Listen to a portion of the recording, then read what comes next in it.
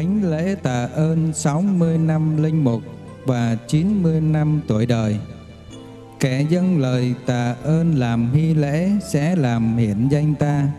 Ai sống đời hoàn hảo, ta sẽ cho hưởng ơn cứu độ Chúa Trời. Thánh Vịnh 49 câu 23 Cách đây 60 năm, ngày 27 tháng 7 năm 1958, Thiên Chúa đã thương ban cho cha Du Xe được tham dự vào chức tư tế độc nhất của Chúa Kitô. Trong thánh lễ mừng chức linh mục để phục vụ hội thánh và cứu rỗi các linh hồn mà Đức Giáo Hoàng John Paul II đã gọi là tặng vật và huyền nhiệm. Hôm nay, đáp lời mời gọi của ban tổ chức của quý đức cha, quý cha và cộng đoàn đã hy sinh hiện diện. Để cùng với cha Du Xe chúc tùng và tạ ơn Chúa đã ban muôn ơn để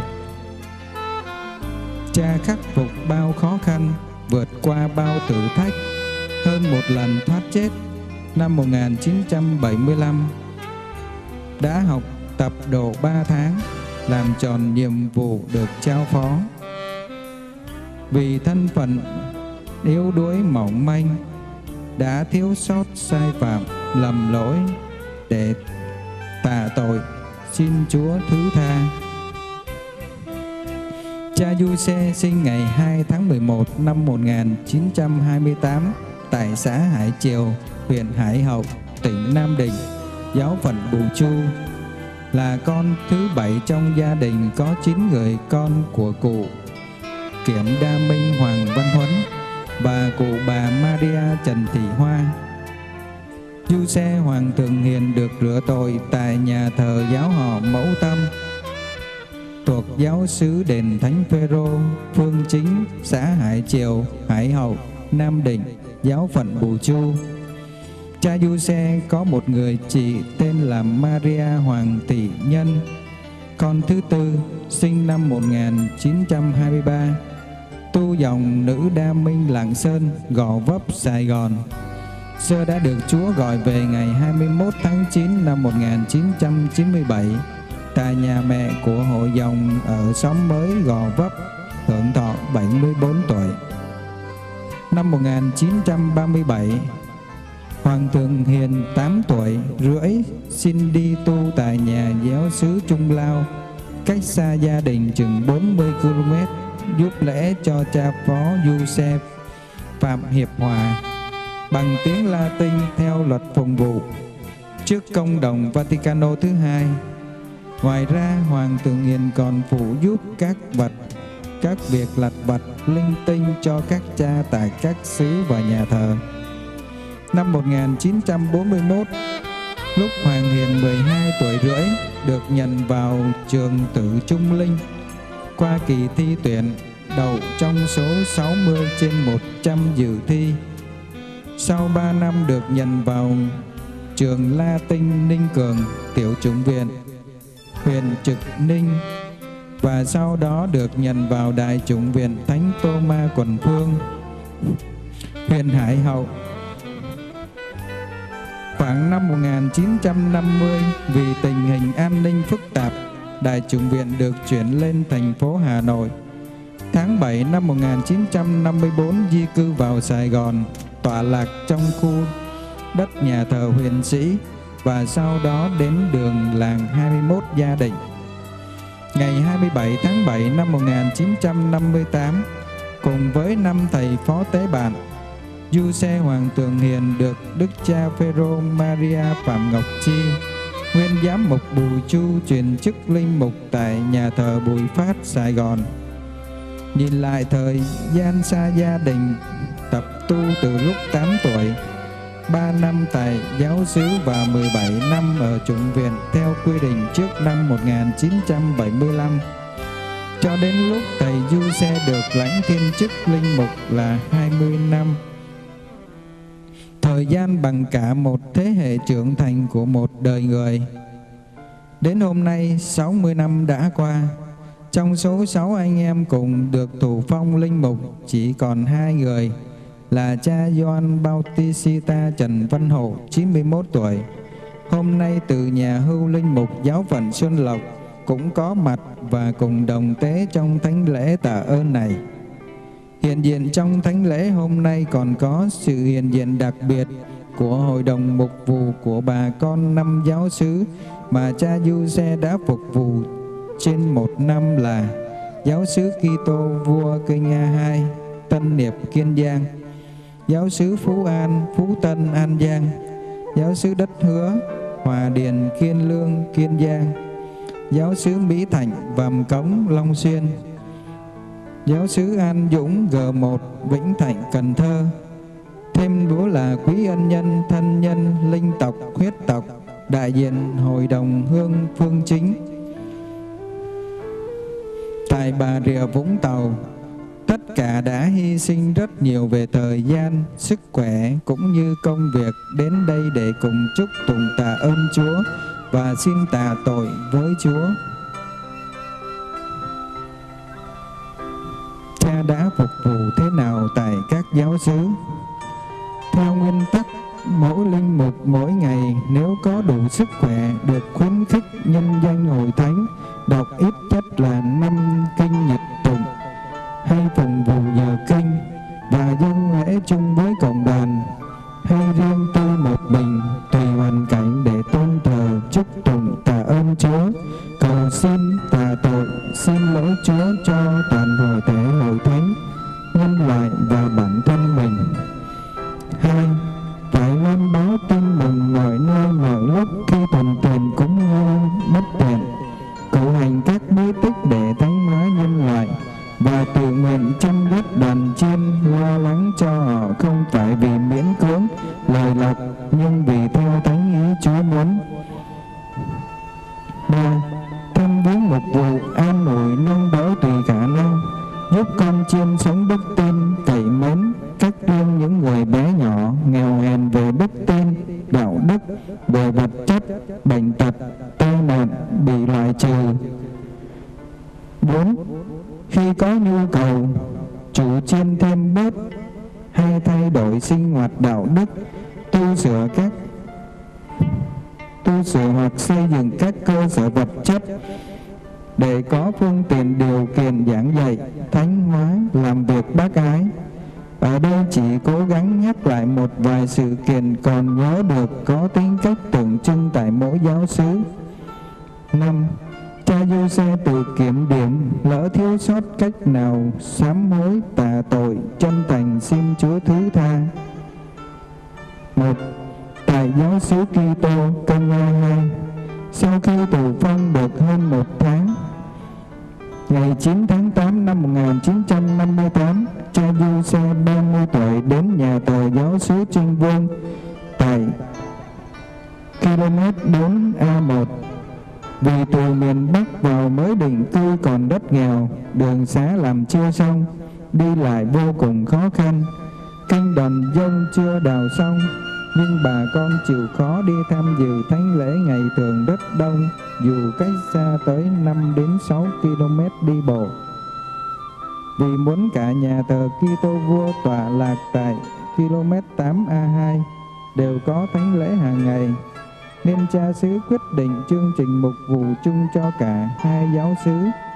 Cha xứ, cha phó thay đổi nhau, mỗi gia lần lượt ở mỗi tuần, ở nhà thờ một tuần trong sáu tháng đầu.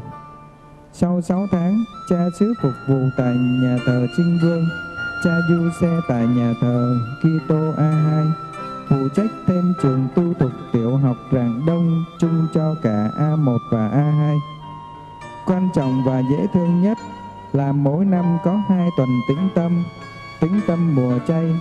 Mục tiêu sám hối thì lớn, nhưng vì bận công việc làm ăn, thời tiết mùa hè thường nóng đực, nên đầu tư ít hơn, kết quả thu hoạch không nhiều.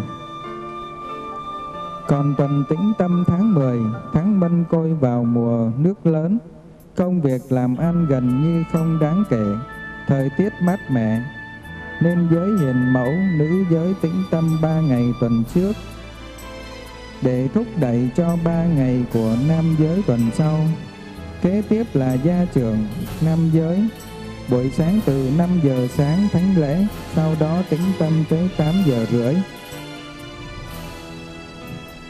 Hơn 3 giờ, hai bài giảng và một bài giáo lý. Chiều từ 3 giờ tới 5 giờ rưỡi, một bài giảng và một bài giáo lý. Sau tĩnh tâm, bầu khí gia đình thường ấm áp hơn, khu xóm vui vẻ hơn, bà con âm thầm làm hòa, đền trả nhưng không giấu được bà con lối xóm. Toàn cây Nga phần lớn nổi tiếng về siêng năng kinh lễ, đền tả trái tim Đức Mẹ, rước từng Đức Mẹ Fatima, lần lượt tới thăm các gia đình. Theo linh đạo dòng đồng công, ngày nay là dòng mẹ cứu chuộc. Giáo dân Kinh Nga thời đó 40% gốc giáo xứ Liên Thủy, cái nôi cũ của dòng đồng công Thánh Kinh a Ma Kinh Phật là câu nói dí dỏm được lặp lại trong thời gian dài.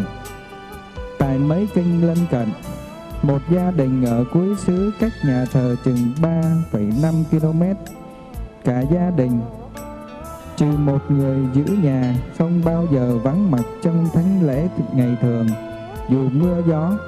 Kết quả là 43 năm sau có một người cháu ngoại được tù phong linh mục năm 2004. Cuối tháng 6 năm 1961, cha Du Xe được chuyển đổi về giáo sứ Tân Bùi Kinh Tư A, làm cha phó quản hạt cha Vũ Ngọc Bân phục vụ cả giáo sứ Tân Bùi và Tân Thành Kinh Tư B. Mùa nước lụt khá lớn, một số bà con tự ý tạm cư ra quốc lộ 80, phố Kinh 8. Cuộc ra đi hơi khó khăn và vất vả và tế nhị. Cha Du xe phục vụ kinh tư được gần 5 tháng thì phát hiện bị nám phổi. Hậu quả những ngày cuối cùng quá tải về tinh thần tại giáo sứ Kitô Kenya 2 được nghỉ và đi điều trị tại bệnh viện di cư Thánh Tâm tại Hố Nai, Đồng Nai từ trung tuần tháng 11 năm 1961 tới tháng 10 năm 1962. Tiếp tục tính dưỡng tới đầu tháng 3 năm 1963 tại nhà xứ An Châu dưới thời cha Pedro Trần Minh Tân. Cỡ trung tuần tháng 3 năm 1963, Cha Vero Trần Minh Tân có hào ý cùng với một số giáo dân tiễn đưa cha Du Xe đến nhận nhiệm sở tại nhà thờ Phú An. Giáo xứ này dài chừng 3 km, chia làm 3 khúc. Khúc 1 dài 100 m ở phía bắc, cách Tân Châu 28 km. Khúc 2 300 m. Khúc 2 dài 300 m, cách khúc 3,600 m khúc 3 dài 400 mét tới cầu bê tông nhà ông Năm Lành. Từ cầu đó xuống tới nhà Ba Chí dài 400 mét là khu 4. Từ đây tới cuối khu là 900 mét là khu 5. Cuối khu 5 cách sông Vàm Nao, huyện Phú Tân trên 8 km. Có tổ đình hoàn hảo nơi đức thầy Huỳnh Sĩ Phổ, Huỳnh Phú Sổ bị sáng vì sáng lập Phật giáo hoàn hảo, đức ông bà thân sinh của đức thầy sinh sống. Giáo dân từ lúc đó chừng hơn ngàn rưỡi, thời đó là họ đạo mồ côi, nhiều chục năm các thánh lễ Chúa Nhật lễ trọng. Việc trao ban các bí tích, nhất là bí tích sau hết sức giàu, phải nhờ cha sở Bến Dinh đối diện và cha sở Bến Siêu cách trên 80 trên 8 km bên tả ngàn sông Tiền Giang, tỉnh Đồng Tháp. Giáo phận Mỹ Tho trợ giúp muốn qua sông thời đó rộng gần 1 km bằng đò nhỏ rất nguy hiểm vì thường hay có gió chướng bất ngờ giữa sông. Đi đò lớn bảo đảm hơn thì phải chờ đợi hàng giờ. Từ cuối năm 1960 thành lập giáo phận Long Xuyên, Phú An là họ nhánh của cha sở Tân Châu cách xa 28 km. Mấy chục năm vừa qua, khó khăn mà biết được Phú An có được đầy đủ các lễ Chúa Nhật và lễ trọng và các bí tích sau hết hay không? Đã có mấy gia đình bỏ đạo và đời sống linh lý xuống cấp. Ngoài ra còn có nhóm khủng bố. Mệnh danh là cua đỏ, cua vàng của Huỳnh Trung Hiếu. Sống trong đồng hay bắt cóc dân đòi tiền chuộc rất cao khiến cho những ai có máu mặt nương nước sợ hãi đề phòng. Với anh em Phật giáo hoàn hảo mặt ngoài thì bình thường vui vẻ nhưng bên trong lúc đó hình như nghịch với bà con công giáo. Từ nay Phú An chia thành năm khu. Về nhân sự quý chức nào gần khu nào nhất thì phụ trách trong trách trưởng hay phó khu. Để có đất thì có chú phụ trách và cũng để có các vị đó có việc làm rõ rệt. Sau 4 tháng tìm hiểu nghiên cứu, cha vua xe tổ chức phổ thông đầu phiếu từ 18 tuổi trở lên bầu lấy 6 người nhiều phiếu nhất làm ban điều hành trung toàn xứ. Trên các vị quý chức trưởng phó khu hiện thời, tự do muốn bầu ai cũng được, bầu biện, giáp hay dân thường chưa làm việc bao giờ cũng được. Kết quả kinh ngạc, cuộc đầu phiếu không có vị biện giáp nào đã được và đang làm lọt vào số 4 vị cao phiếu nhất để làm chủ tịch, phó, thư ký và tụ quỹ. Kết quả này gây ra một cú sốc lớn cho mọi người, nhất là các vị biện giáp đang tại chức. Bốn vị cao phiếu nhất cảm động hãnh diện cảm ơn cộng đoàn và cam kết sẽ phục vụ hết mình, đáp lại lòng tín nhiệm mà bà con dành phiếu cho mình.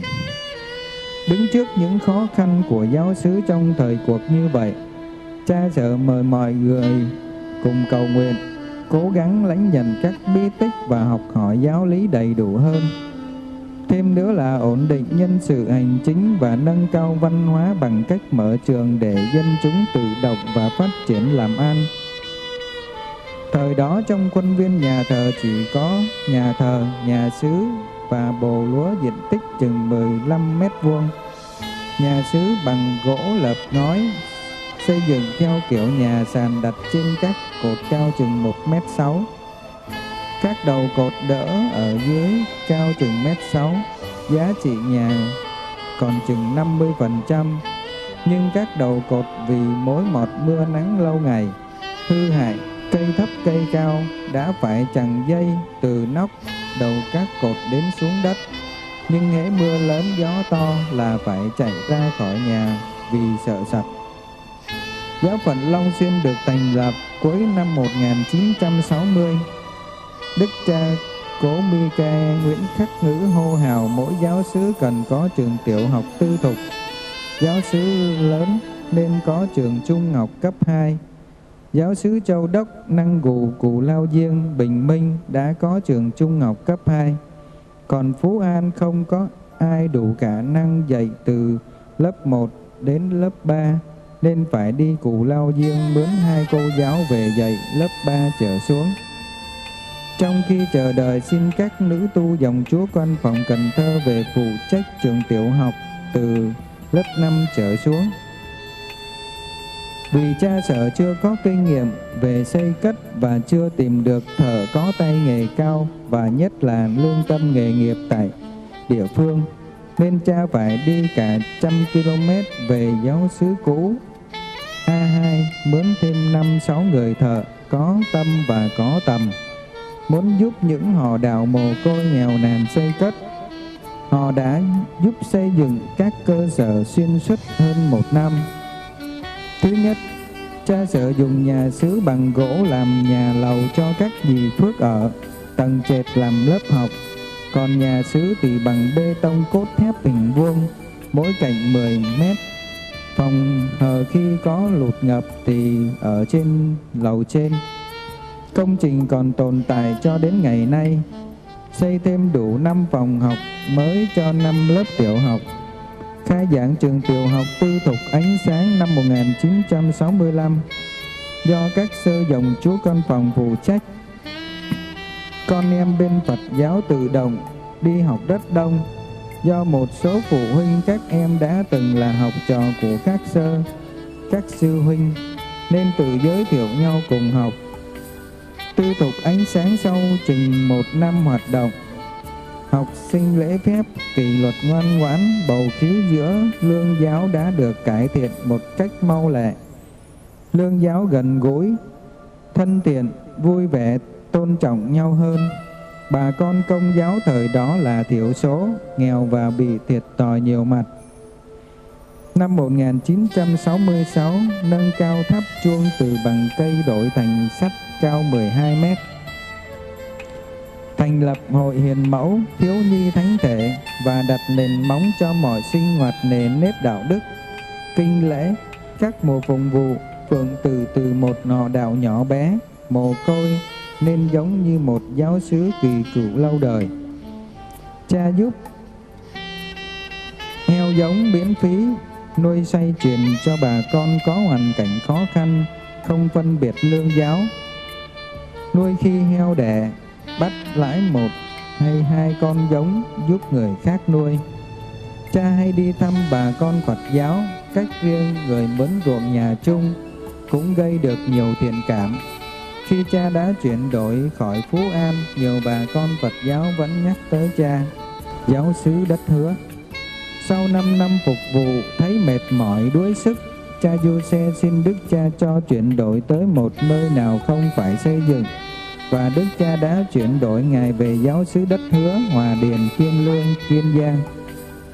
Coi chừng coi như từ ranh giới giáo phận phía đông về giáp ranh giới phía tây, đất hứa cách bờ biển Ba Hòn, Dương Hòa chừng 8 km. Cha Du Xe tới giáo xứ đất hứa ngày 22 tháng 12 năm 1968 mới 40 tuổi. Sau bầu không khí u ám, tình hình an ninh phức tạp, ban ngày một chủ, ban đêm chủ khác. Dù cha ngài xây cất, nhưng vì có một số vật liệu do cha sở Nguyên Trần Văn Năng để lại, nên lại phải tiếp tục công trình. Một, xây mấy vách ngăn các nhà lớp học vốn từ thấp bằng các trường phía trước phía sau nên cao hơn mái tôn để tránh tiếng ồn. Lớp này dồi sang lớp kia. hai, Xây bể nước lớn đầu phía bắc của trường học lấy nước mưa cho học sinh và các gia đình dùng cả năm. 3. Tại nhà xứ, xây mấy phòng sinh hoạt, nối liền từ nhà chính phía đông, quay mặt ra phía đông bờ sông cái Long Xuyên, Rạch Giá, Hà Tiên. Từ phía bắc nhà chính xoay mặt sang phía nam. Phía nhà thờ làm phòng bếp, phòng an. Thầy sứ ở phòng sinh hoạt giáo lý, đoàn thể. Năm 1975, khi cha sở đi học tập, Đức cha Bùi Tuần đến thăm giáo xứ. Vì nhà chính bị niêm phong, Đức cha sinh hoạt và ngủ nghỉ ở mấy phòng này. Đây cũng là nơi tổ chức mấy lớp bồi dưỡng giáo lý cho các huynh trưởng và giáo lý viên. Năm 1969, thay rui mè và lợp lại toàn bộ mái ngói nhà thờ. Tháng 12 năm 1971 để kỷ niệm 40 năm thành lập giáo xứ và cha Phêrô Lê Văn Kim người con đầu tiên của giáo sứ đất hứa được thủ phong linh mục ngày 27 tháng 12 năm 1971 đã xây một tượng đài trái tim Chúa bổn màng nhà thờ thân dài thân đài nhỏ cao chừng 7 mét tại sân nhà thờ. Phía nam mặt tiền quay ra bờ sông cách xa 3,4 km trong đồng còn có thể nhìn thấy cầu nguyện cho sự bình an của việc mưu sinh hàng ngày. Đài này thay thế tượng đài Đức Mẹ ban ơn cao chừng 3 mét tại cửa kênh nhà chung đã bị xuống cấp vào năm 1973. Cha Du Xe động viên rất nhiều mạnh một số gia trưởng, thanh niên anh Dũng đưa sắt thép, đá, xi măng và vật liệu lên đỉnh núi Chầu, phía gần khu dân cư để xây dựng cây thánh giá vững chắc. Đồ sộ cao 6 mét, hai cánh 4 mét, dày 6 tấc, bề rộng mặt 8 tấc, mà ở xa 30 km vẫn nhìn thấy rõ. Ở phía dưới có hang đặt tượng Đức Mẹ Fatima. Các công trình này để chúc tụng, tạ ơn và xin Chúa ban bình an và sống công bình yêu thương. Năm 1970, khu vực núi Chầu thời gian đó đã là trung tâm kinh tế của Hòa Điền. Công nhân làm việc rất đông, chở đá, củi vào lò vôi, đốt lò vôi, chở vôi ra ghe đưa đi buôn bán. Những người buôn bán đồ ăn cho công nhân cũng tấp nập, nhộn nhịp. Vì chiều thứ bảy dân lễ tại nhà thờ Hòa Giang Kinh 1, cách nhà xứ 5 km, nên cha Du Xe định dân định ngày dân lễ tại hang đá Đức Mẹ vào 5 giờ sáng, 5 giờ chiều thứ năm hàng tuần. Không ngờ bà con và công nhân đến dự lễ đất đông, thánh lễ vẫn còn tiếp tục cho đến ngày nay. Cha Du Xe còn quan tâm đến thăm viếng bà con ở xóm Cờ Trắng. Vào trung tuần tháng 6 năm 1975, cha Du Xe bị mời đi học tập chừng 3 tháng tại Hà Tiên và Long Xuyên. Trung tuần tháng 11 năm 1975, Ban Mục vụ Giáo sứ Đất Hứa tiễn đưa cha đến nhà thờ Mỹ Thạnh, Vàm Cống, An Giang. Khi đó cha 47 tuổi xuân. Giáo sứ thứ tư, Mỹ Thạnh, Vàm Cống, Long Xuyên, An Giang. Nơi đây tình hình lúc đó rất tế nhị, phức tạp và đầy lo âu. Dân chúng hoang mang lo lắng về tương lai cuộc sống rất nhiều. Cha Giuse bắt đầu đi thăm hết mọi gia đình trong xứ đạo để làm quen, biết hoàn cảnh vật chất, tinh thần đạo đức của bà con và nhận thấy họ rất đáng thương, nhất là những người từ xa trở về. Cha Giuse đã an ủi động viên bà con phó thác những sự khó khăn này vào tay Chúa và cùng nhau tìm cách khắc phục những khó khăn này. Trước đây, mỗi khi có người qua đời, thì trở xuống chôn tại đất thánh bỏ ót. Nhưng từ nay, thì phải tự túc chôn tại giáo xứ của mình. Sau hai tháng cùng với ban hành giáo đi hỏi mua hay sang lại vài công đất của nhà chung. Trước đây là nhà bà con mướn nhưng không ai đồng ý. Cha còn đang lúc tuyệt vọng thì bất ngờ có một anh út Lâm Văn Công con của ông Lâm Văn Phước tại khu nhà cái sắn hiến cho một công đất ruộng để làm nghĩa trang.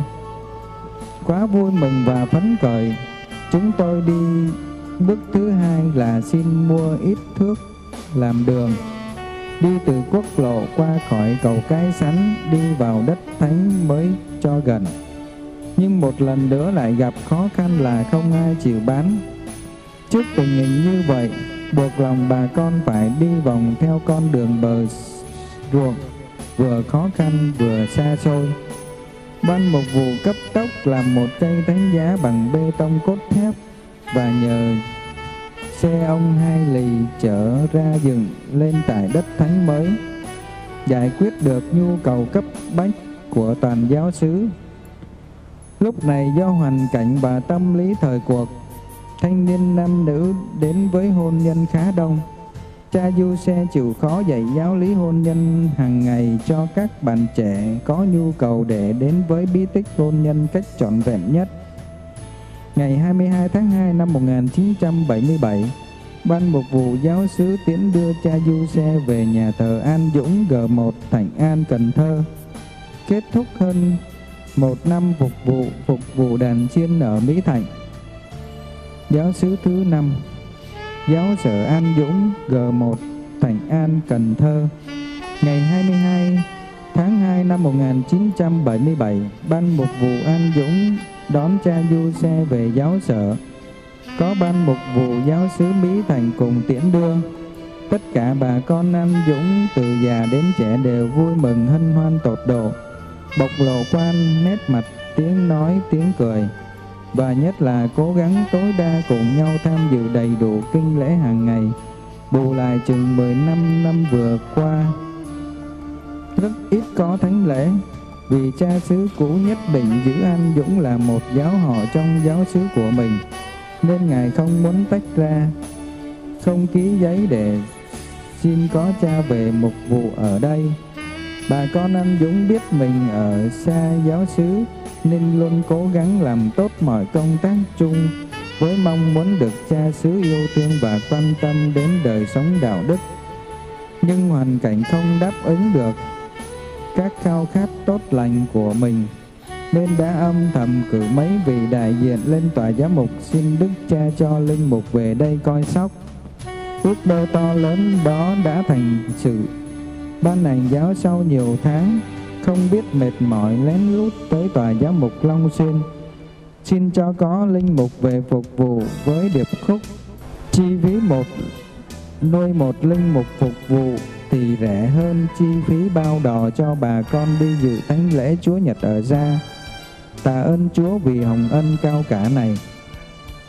Ngoài tinh thần nhiệt thành tham dự thánh lễ hàng ngày, bà con giáo dân còn cấp tốc xây dựng thêm các cơ sở cần thiết cho các nhu cầu sinh hoạt không những cho cha sở mà còn cho cha khách thầy giúp hè và nhất là các phòng sinh hoạt giáo lý đoàn thể sinh hoạt ăn uống giống như một giáo sứ nhỏ.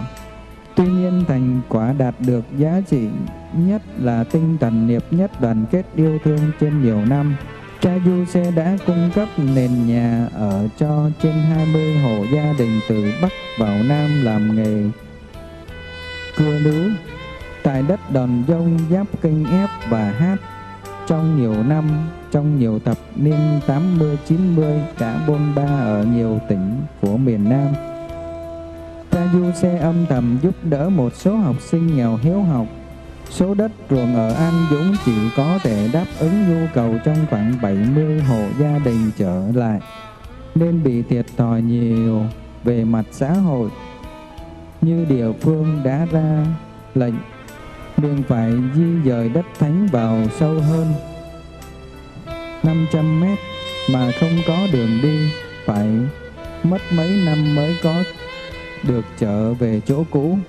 Một số bà con quan tâm nhiều đến học hỏi giáo lý và lời Chúa, tham dự thánh lễ, mà nhờ đó đã cùng ăn, cùng chịu, cùng làm với nhau, tránh được bất công, phân bì, tranh ghét, nói hành nói xấu nhau. Khu xóm được an vui sống và còn lôi kéo được nhiều gia đình khác sống theo tinh thần này. Vậy cha Du Xe đã phục vụ tại An Dũng 29 trên tổng số 48 năm tại giáo xứ. Đã sinh hoạt thế nào? Sau đây là nhận định của một bà con giáo dân An Dũng đang định cư nơi khác. Một về đạo đức cử hành kinh lễ và các việc đạo đức tất nghiêm chỉnh đầy đủ, chú trọng việc tổ chức và xây dựng các đoàn thể đạo đức. Hai, về xây dựng cơ sở. Khi cha Du Xe mới về, anh Dũng chỉ có ba cơ sở là nền nhà thờ, nền nhà phòng và nền trường học bằng tre lá. Chơ vơ giữa các hầm hố của ngã tư đòn dông nhưng sau một thời gian ngắn đã cùng với bà con san lấp các hầm hố, dựng lên một ngôi thánh đường khang trang với dáng vẻ hiện đại, phù hợp với thời đại và nhiều cơ sở vật chất phục vụ các sinh hoạt khác. Cha du xe đã tự nghiên cứu về xây dựng, có thể nói như một kiến trúc sư, kỹ sư xây dựng lành nghề để tạo nên một khuôn viên nhà thờ như hiện nay. An Dũng có đài các thánh tự đạo, có lẽ chỉ thua đài thánh quý, thánh phụng châu đốc và đài cha Diệp tại quê nhà Cồn Phước với mơ ước là bà con khỏi mất công đi cầu khấn xa xôi. Một mình đi xin tiền làm nhà thờ từ năm 1986 đến năm đưa trên chợt xình lầy 6 km về nhà thờ. Trong thời gian đi lo công việc xây dựng, cha đã bị tai nạn gãy chân, phải bó bột 6 tháng. 3. Về tương quan với giáo dân và mọi người, cha đã sống hòa đồng, không ngừng xây dựng tình đoàn kết, rộng rãi tiếp đón mọi người không tiếc thời giờ bất kể lương giáo. 4. Thành quả là lòng đạo đức tăng lên rõ rệt, nhiều ơn gọi tu sĩ linh mục, nhiều nhân tài đã thành đạt cũng như xuất phát từ đây. Ý kiến này là khách quan hay chủ quan? Xin bà con góp ý chân thành cảm tạ.